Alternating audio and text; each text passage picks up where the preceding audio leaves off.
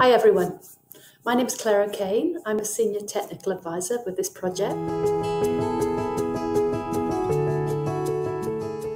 been working on children's rights, protection and participation for more than 25 years. My teachers in children's rights were organised working children in India who I worked with in the 1990s. Over the years, I've supported many child-led and collaborative initiatives by girls and boys in diverse contexts including collaborations with the African Movement of Working Children and Youth in West Africa. Recognising the discrimination that girls and young women face and barriers to their participation in families, communities, and wider society, I really appreciate this programme by Plan and partners to support girl led programming in Benin and Cameroon. And I'm really excited to be part of this collaborative learning process with all of you. Based on my experience, I would like to share five top tips for girl led programming. One, Apply the nine basic requirements. Two, start local and be inclusive. Three, take time to build trust.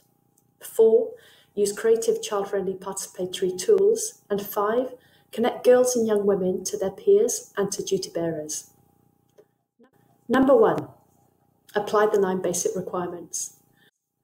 The Committee on the Rights of the Child have identified nine basic requirements for effective and ethical participation, namely that, that participation is one, transparent and informative, two, voluntary, three, respectful, four, relevant, five, child friendly, six, inclusive, seven, supported by training, eight, safe and sensitive to risk, and nine, accountable.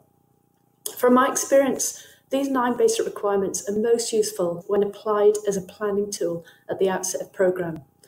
When staff and, and partners and young people, children, girls, boys, have opportunities to discuss these basic requirements and to really decide how they can apply them in their local context.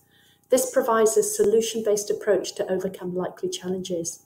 During project implementation, the nine basic requirements also provide helpful indicators to monitor the quality of participation processes.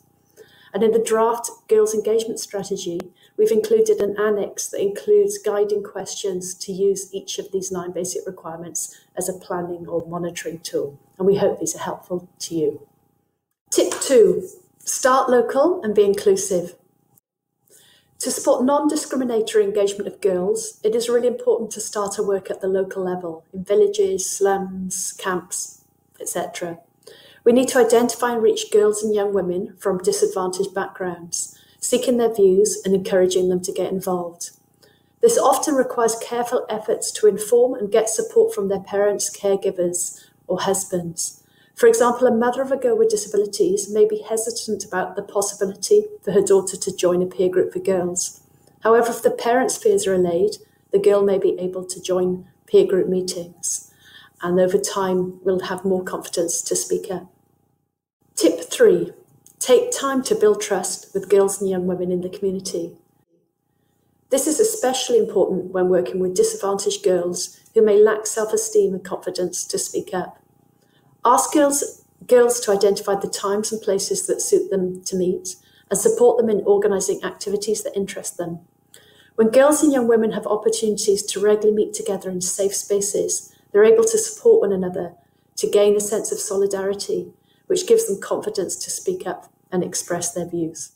Tip four, use creative child-friendly participatory tools such as arts, drama, singing, photography, or visual tools such as body mapping, community mapping, ranking tools.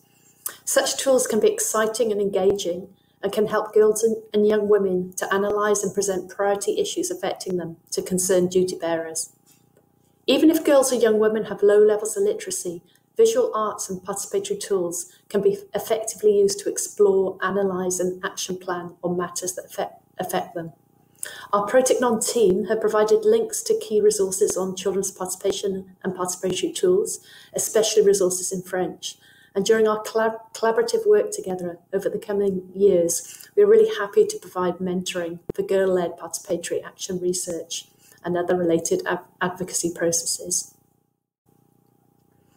Tip five, connect girls and young women to their peers and to duty bearers. Support opportunities for girls and young women to meet locally and to connect across different communities. Create structures for girls and young women to meet and dialogue with duty bearers so that they can directly talk about the kind of services and policies they need.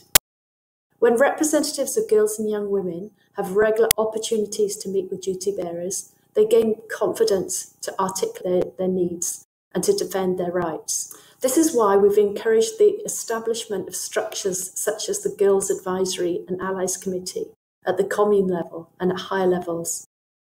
It's also important to think about the sustainability of such structures.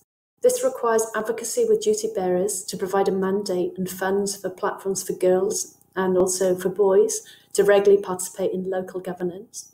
It also requires ongoing efforts to engage, train, and mentor younger girls so that girls under the age of 18 years continue to represent their peers. It's really great to join you virtually, and I really look forward to ongoing collaborations. Thank you.